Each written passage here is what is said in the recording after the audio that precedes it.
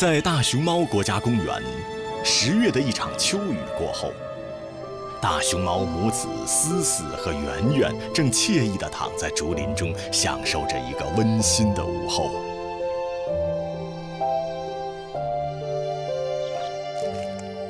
一只成年大熊猫一天要吃掉一百一十五千克以上的竹叶和竹竿，才能保证自身的营养摄入。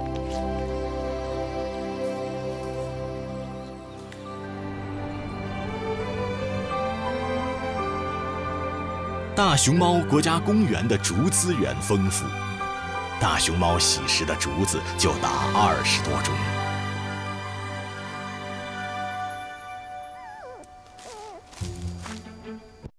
竹林中正缠着妈妈玩耍的幼崽圆圆刚满一岁。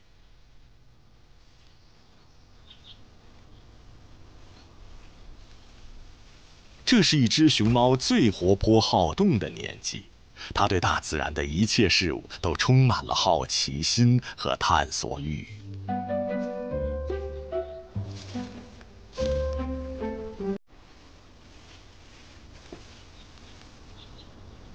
然而，思思现在只想通过午睡来保存体力。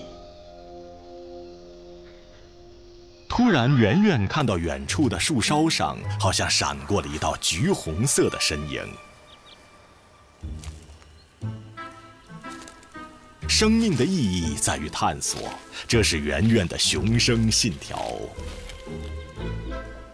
正在休息的思思并没有注意到圆圆的举动。天赐良机，圆圆决定去一探究竟。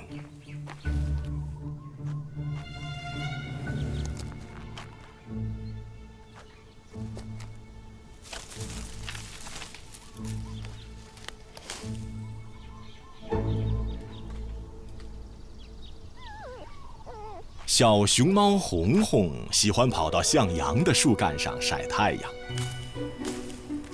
作为与大熊猫同育半生的哺乳动物，爱爬树的它们可以在树杈枝上行动自如。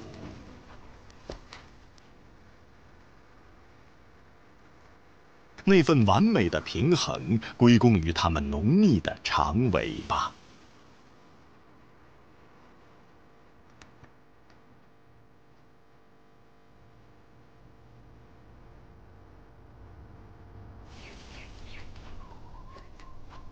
红红看着这位远道而来的朋友，在向自己展示爬树的技巧。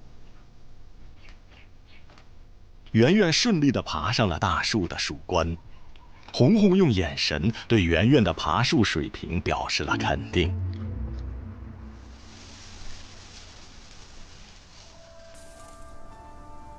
年幼的熊猫享受着山间的微风，它觉得有一些疲惫。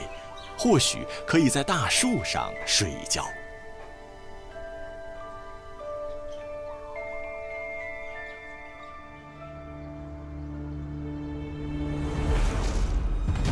但是，他不知道的是，思思在发现孩子不在了以后，十分焦急，不停的在山间寻找着自己的宝贝。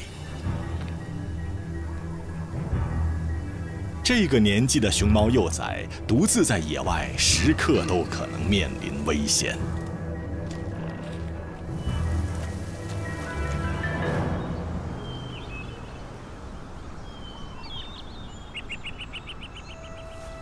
圆圆对潜在的危险毫不知情。小憩之后，圆圆正在用眼神和这位同样能上树的帅气朋友进行告别。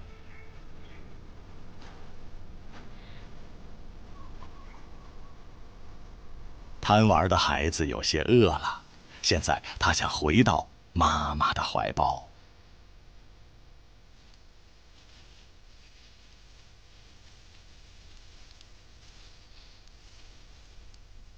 在半山腰，下山回家的圆圆就在不经意间邂逅了妈妈正在生闷气的宽厚背影。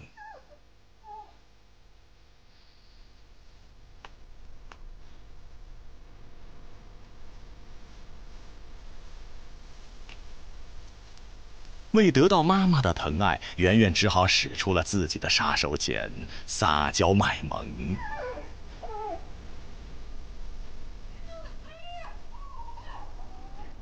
或许是撒娇起了作用，妈妈向圆圆重新张开了怀抱。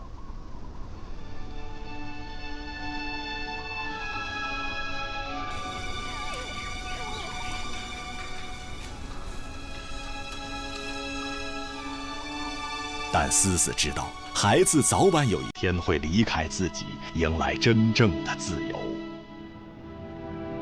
大熊猫国家公园已经通过大熊猫野生种族复壮、加强自然资源等工作，为大熊猫打造出了良好的生态空间。